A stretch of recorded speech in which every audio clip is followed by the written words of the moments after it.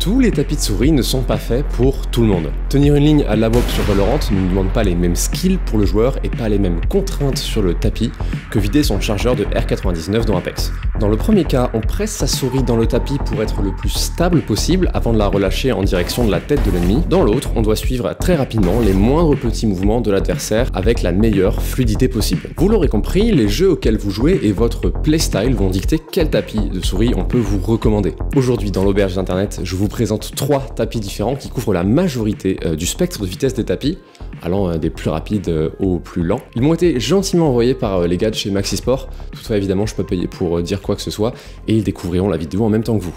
Je vais vous présenter pour la première fois les trois aubergistes d'aujourd'hui qui vont nous accompagner tout du long de la vidéo. Ils sont un peu spéciaux, je vous préviens.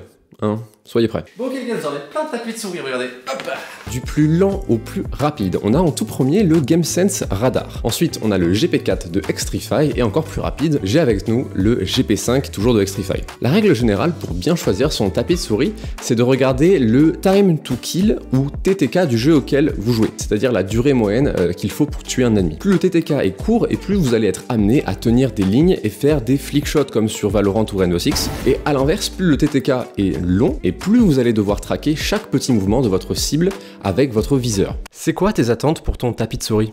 Moi, je veux quelque chose qui soit ultra rapide. Quitte à choisir, moi, c'est speed. T'es sûr de ça, mec? Frérot, si je prends du contrôle, je vais être tellement lent que je vais devoir augmenter ma sensibilité.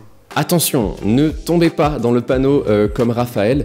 Prendre un tapis contrôle ne veut pas forcément dire que la glisse est plus lente que sur du speed. Si on regarde bah, le GameSense Radar par exemple, qui est un tapis plutôt orienté contrôle, il garde une vitesse de glisse presque aussi rapide que le GP5, alors que celui-ci est plutôt orienté vitesse. La vraie différence se fait dans la puissance d'arrêt du tapis, c'est-à-dire la résistance qu'a le tapis à accélérer la souris quand elle est à l'arrêt, ou au contraire, la facilité qu'on a à l'arrêter d'un seul coup en plein mouvement. Un tapis contrôle n'est donc pas un tapis lent, mais c'est un tapis qui permet d'avoir un meilleur contrôle sur l'inertie de la souris. Bon bah qu'est-ce que tu lui proposes? Ah t'as le GameSense Radar euh, qui est un super long tapis de contrôle, voilà, sans aller dans l'extrême non plus comme le Zawi GSR. Euh, il est vraiment de super bonne qualité, il est pas non plus super épais, mais il a une plutôt bonne puissance d'arrêt naturellement, euh, ce qui est pas mal pour bah, voilà, jouer à Valorant, ce genre de truc. Et franchement, le couture sont vraiment quali, j'adore le design. Y'a pas moyen d'avoir un feeling un peu plus rapide en regardant pas mal de puissance d'arrêt, comme tu dis Bah, si, si, carrément. Alors là, tu vois juste ici, tu as le Xtrify GP4. Il est naturellement un petit peu, euh, t'as vu, plus épais, euh, plus mou, on peut un peu plus euh, presser à l'intérieur.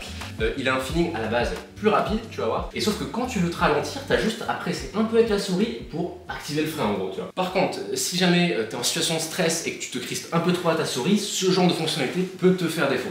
Je serai jamais mec. Celui-là, c'est mon préféré. J'ai la chance d'avoir pu passer beaucoup d'heures dessus, comme euh, sur le GameSense Radar, et même si j'aime euh, beaucoup les deux, le GP4, c'est vraiment un coup de cœur. J'adore la sensation de rapidité qu'il a sans perdre en puissance d'arrêt, en appuyant un peu dessus. Son seul défaut, je dirais, c'est au début de l'utilisation. Euh, déjà, bah, comme il est enroulé dans l'emballage, il garde super bien les formes, et bah, c'est assez chiant car il a du mal à se dérouler. Après, si vous le prenez, forcez un petit peu sur les extrémités pour lui redonner une forme plate, vous verrez, ça part super vite. La deuxième chose, c'est au niveau du revêtement. Les premières de, de gameplay dessus, ma peau avait vraiment une sensation un peu bizarre. Euh, en glissant dessus, je sais pas, j'ai vraiment eu ça nulle part ailleurs, mais bon, ça aussi ça part super vite heureusement. Vous avez de plein de designs super jolis, je vous les mets euh, à l'écran.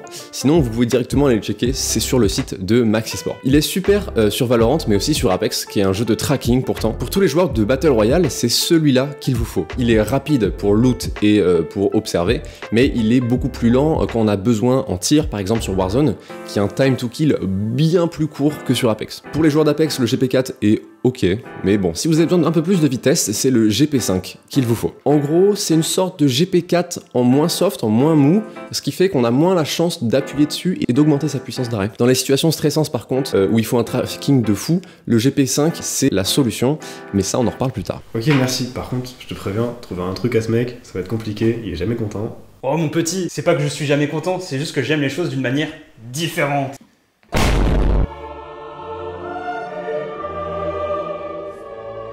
Regarde, moi je sais me satisfaire des choses simples. Vos trucs de tryhard, moi j'y comprends rien. C'est un casu, t'embêtes pas avec lui. Bien loin de moi l'envie de discriminer les joueurs casu évidemment dans cette vidéo.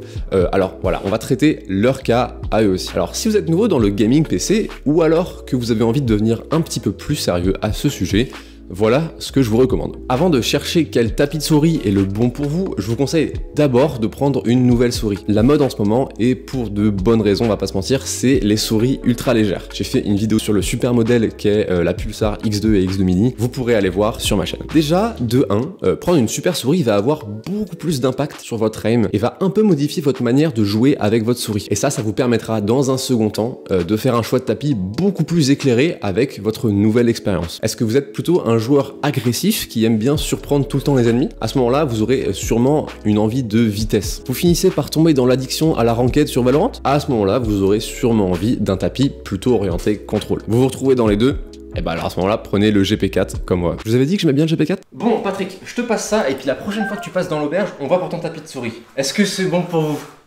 Ouais, ouais, c'est bon pour moi, hein.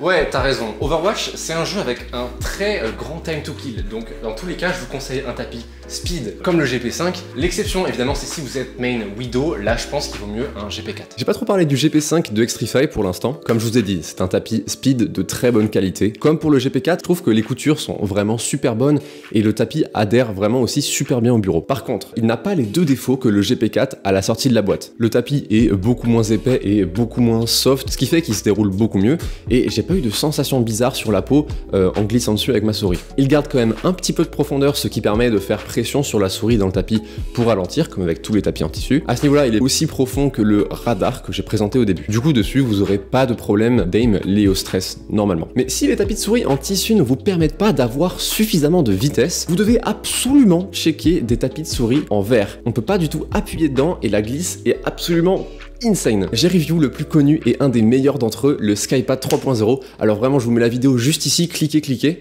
C'était Antonin, vous étiez dans l'auberge des internets. Allez, ciao